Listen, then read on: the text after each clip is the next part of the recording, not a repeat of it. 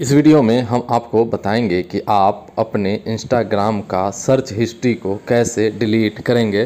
Search history को कैसे हटाएँगे। तो इस वीडियो को आप शुरू से लास्ट तक देखते रहिए। तो यहाँ पे जैसा कि आप देख सकते हैं, ये है हमारी इस इंस्टाग्राम तो इंस्टाग्राम पे जैसे क्लिक करेंगे तो यहाँ पे हमें दिखाई देता है नीचे प्रोफ़ाइल आइकन नीचे राइट साइड में तो इस पर हम जैसे क्लिक करते हैं तो इस पर क्लिक करने के बाद ऊपर हमें दिखाई देता है थ्री डॉट तो इस पर हम जाएँगे, और इस पर जाने के बाद सबसे ऊपर हमें दिखाई देता है सेटिंग्स एंड प्राइवेसी तो सेटिंग्स एंड प्राइवेसी पे जाएँगे तो यहाँ पे हमें दिखाई देता है अकाउंट सेंटर तो इस पर हम जैसे जाते हैं अकाउंट सेंटर पे तो अकाउंट सेंटर पे जाने के बाद यहाँ हमें दिखाई देता है योर इन्फॉर्मेशन एंड परमिशन तो जैसे आप योर इन्फॉर्मेशन एंड परमिशन पे जाते हैं तो यहाँ पे हमें मिलता है एक, दो, तीन, चार नंबर पे सर्च हिस्ट्री तो जैसे हम सर्च हिस्ट्री में जाते हैं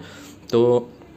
यहाँ हमें ऊपर दिखाई देता है दो आईडी है तो हम ऊपर वाला को सेलेक्ट करते हैं और यहाँ पे जैसे कि हमने जो जो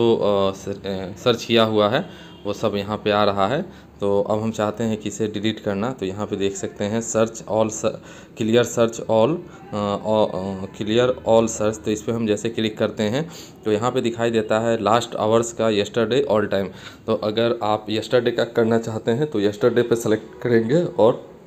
क्लियर और सर्च पे जा कर के